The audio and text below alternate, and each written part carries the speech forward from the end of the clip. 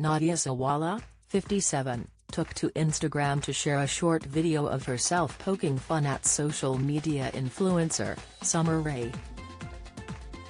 The influencer posed on a sunbed whilst on holiday in a barely there bikini as she promoted skincare supplements.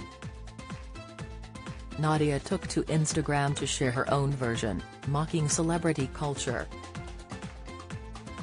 The Loose Women panelist shared the short video in view of her 516,000 Instagram followers as she took to her sunbed in a tiny string yellow bikini.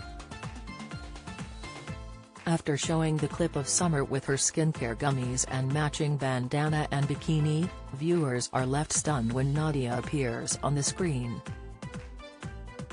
She made her own makeshift white bandana and used Pringles as her promotional product.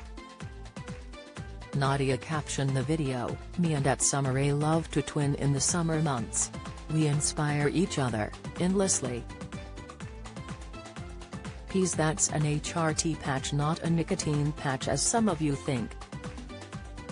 Other celebrities Nadia has mimicked include Kim Kardashian, Kendall Jenner, Kylie Jenner, and Halle Berry.